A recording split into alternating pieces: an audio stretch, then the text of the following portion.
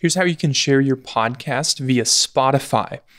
Spotify has a really nice feature to share your podcast in Instagram stories, even if you do not have 10,000 followers to get that swipe up feature. So open up Spotify and find your podcast feed. Now, this does not work for specific episodes. This is just for the show.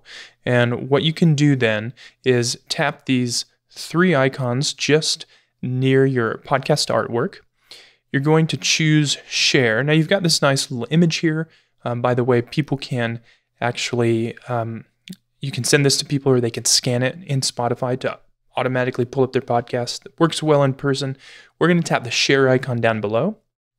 And now you can see you've got some options here which may seem uh, unfamiliar. You've got Snapchat, WhatsApp, and Instagram Stories is the one I want to use right now. So tap on Instagram Stories. It's going to open up my Instagram app, open up a new story. It's got my podcast artwork.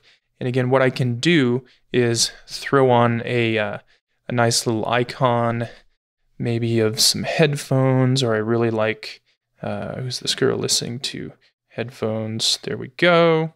So something cool like that. But here's the thing that you need to be aware of, and it, it, there's no indication until you've done this. It's going to add a link, a tappable link, in the top upper left corner. So what I want to do to make sure that people see that is add another sticker, and it can be an arrow, it can be a drawing just with your finger.